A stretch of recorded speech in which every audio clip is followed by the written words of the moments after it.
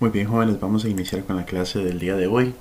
Como hablamos en la clase anterior, vamos a aprender a pasar de binario a decimal, que es un proceso muy importante para interpretar direcciones IP que vamos a necesitar muchísimo para implementar el subneteo, que es un proceso muy muy importante para otorgar direccionamiento a los equipos que se conectan a una red. Muy bien, vamos a empezar. Entonces, eh, les voy a dar un número en binario, que sería el siguiente el 1, 1, 1, 1, 1, 1, 1, 1. Recuerden que en binario solamente existen dos dígitos, el 0 y el 1. En este caso son 8 bits que están encendidos. Aquí ya podemos empezar a notar algo importante. Vamos a trabajar octetos. Recuerden que octeto es un grupo de 8 bits. Entonces nosotros lo que vamos a aprender a pasar es eh, octetos únicamente, ¿verdad? Entonces 8 bits siempre. ¿Qué vamos a necesitar para hacer este proceso? Bueno, muy importante. Vamos a ocupar siempre esta tablita que está por aquí, que es la tablita de potencias del 2. ¿Por qué será la tablita de potencias del 2? Bueno, porque vamos a trabajar números binarios. Y binario ya dijimos que son dos dígitos. Por eso va a ser la tablita de potencias del 2. Desde 2 a la 0 hasta 2 a la 7. ¿Por qué será que desde 2 a la 0 a 2 a la 7? Bueno, muy importante porque lo, que les acaba de decir, vamos a trabajar octetos, ¿ok? 8 bits. Y desde 2 a la 0 a 2 a la 7 son 8. Por eso es que vamos a ocupar de 2 a la 0 a 2 a la 7. Sus equivalentes, 2 a la 0 es igual a 1, 2 a la 1, 2, a la 2, 4, a la 3, 8, a la 4, 16, a la 5, 32, a la 6, 64 y a la 7, 128. ¿Ok? Entonces, esta tablita la vamos a seguir utilizando siempre. ¿Cuál va a ser el primer paso? Bueno, cuando tengamos esto listo, vamos a poner el número binario tal y como aparece, ¿verdad? Los ocho dígitos encendidos. Y luego vamos a hacer algo muy importante, que es que vamos a trasladar esta tablita de potencias encima de cada uno de los dígitos del número binario, de esta manera. ¿Ok? empezando desde la derecha a la izquierda. O sea, el bit de la derecha va a ser 2 a la 0 que es igual a 1 y ahí los siguientes. 2 a la 1, 2, a la 2, 4, 8, 16, 32, 64 y 128. ¿Ok?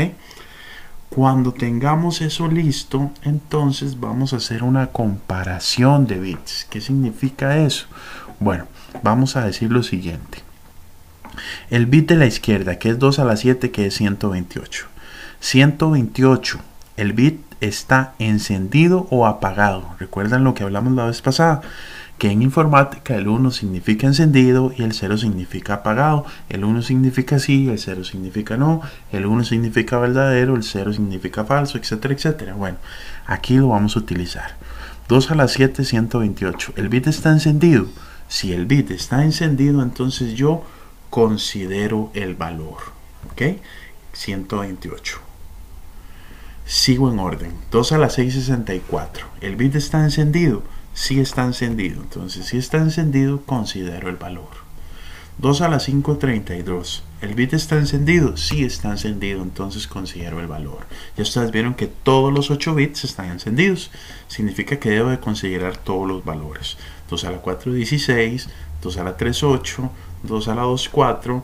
2 a la 1.2. Y por último, 2 a la 0, que es 1. ¿Ok? O sea, consideré todos los valores porque todos los bits están encendidos. ¿Qué voy a hacer con esos valores? Yo los voy a sumar.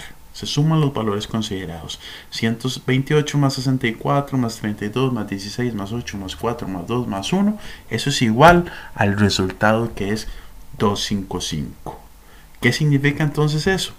Que el número binario 1, 1, 1, 1, 1, 1, 1 es igual a 255. ¿Ok? Así de fácil es. Esto me, me, hace llegar a una conclusión muy importante también. Que el número máximo en las direcciones IP es este mismo que está aquí. 255. Porque si todos los bits están encendidos, el valor máximo que va a llegar a tener es 255. ¿Ok? Eso es cuando todos los bits están encendidos. ¿Qué pasa cuando hay bits que estén apagados, como en este caso? El número binario que les, que les propongo es el 10000011. ¿Qué vamos a hacer? Bueno, igual, vamos a utilizar la tablita de potencias del 2. Vamos a poner el número binario tal y como se los estoy dando. 1, 0, 0, 0, 0, 1, 1, ¿verdad?